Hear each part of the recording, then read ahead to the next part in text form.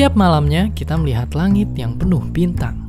Tapi, tahukah Anda, ada objek misterius di balik langit tersebut? Perkenalkan, black hole, objek yang berada di seluruh alam semesta tapi masih misterius hingga sekarang. Terlalu misteriusnya hingga masih banyak yang bertanya, apa black hole itu sebenarnya? Black hole secara teknis adalah sebuah ruang di angkasa yang memiliki gravitasi yang sangat sangat sangat sangat sangat kuat. Black hole terdiri atas bagian yang disebut sebagai singularity dan bagian yang disebut sebagai event horizon. Bagian singularity ini masih sangat misterius dan tidak diketahui apa isinya. Sedangkan event horizon adalah wilayah yang memiliki gaya gravitasi yang sangat kuat hingga semua objek di alam semesta ini tak ada yang bisa kabur dari isapannya, termasuk cahaya, objek paling tercepat di alam semesta kita. Karena tidak ada cahaya di sekitarnya, akibatnya black hole tidak dapat terlihat. Lalu, jika tidak bisa dilihat, bagaimana kita tahu black hole itu ada? Kita bisa mengetahuinya dengan melihat efek dari gravitasi black hole terhadap objek di sekitarnya. Contohnya, ini adalah simulasi sebuah galaksi yang melewati black hole. Karena gaya gravitasinya yang tinggi, black hole mampu menyimpangkan cahaya, membuat kita dapat mendeteksinya. Selain itu, black hole juga dapat dideteksi dengan mengamati orbit objek luar angkasa, yang sering kali memiliki orbit yang aneh karena ternyata terpengaruh oleh gravitasi black hole di dekatnya.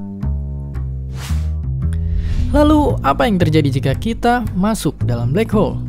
Pendeknya, kita akan mengalami sebuah fenomena yang disebut oleh para peneliti sebagai spaghettification, yang di mana molekul tubuh kita akan hancur lebur dan bersatu dengan singularity.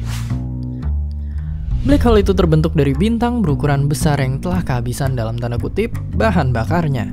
Coba Anda bayangkan bintang yang sangat sangat sangat sangat sangat besar yang besarnya 20 kali lipat dari matahari kita atau lebih kehabisan bahan bakarnya. Lama-kelamaan bintang mati ini akan runtuh pada gravitasinya sendiri menjadi satu titik yang dinamakan sebagai singularity dan kemudian terbentuklah black hole. Fakta uniknya, secara matematis segala hal di dunia ini dapat menjadi black hole, termasuk kita. Ya, benar, kita bisa jadi black hole.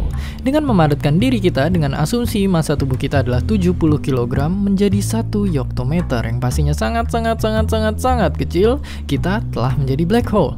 Begitu juga jika kita memadatkan bumi kita jadi kira-kira sebesar kacang, ia juga akan jadi black hole. Tapi jangan khawatir, secara alami kita tidak mungkin jadi black hole karena masa kita yang terlalu kecil. Bahkan fakta uniknya lagi, matahari kita sendiri tak punya masa yang cukup untuk menjadi black hole. Jadi mudah-mudahan video ini dapat membuat Anda semakin terpukau dan penasaran pada alam semesta kita yang menakjubkan dan penuh misteri ini. Dan semoga juga video ini nggak cuma menghisap kuota internet Anda layaknya tarikan black hole. Terima kasih.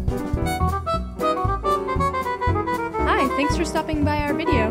Don't forget to comment, like, and subscribe.